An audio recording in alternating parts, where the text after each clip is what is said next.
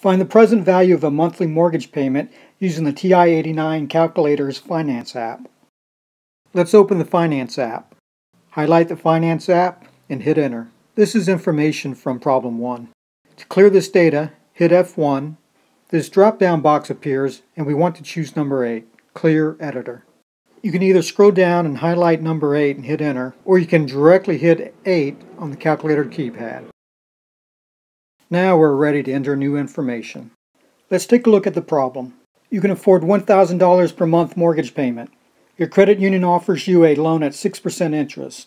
What is the present value of this loan? Or other words, how big of a loan can you afford paying $1,000 per month at 6% interest for 30 years? Let's enter the data. N equals the total number of compoundings over the entire period, in this case over 30 years. Because the payments are monthly, we assume the compounding is monthly.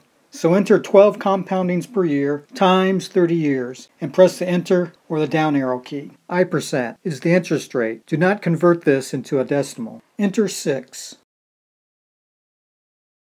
PV, present value. That's a variable we're calculating for. We'll come back to that later. PMT, payments. You can afford a monthly payment of $1,000, so enter a negative 1,000. Negative because money is coming out of your pocket. Make sure you use a negative sign and not a minus sign. If you use a minus sign, you get a syntax error. FV, future value. After 30 years, the loan balance is zero. You paid off the loan after 30 years, so enter zero. PPY, payments per year.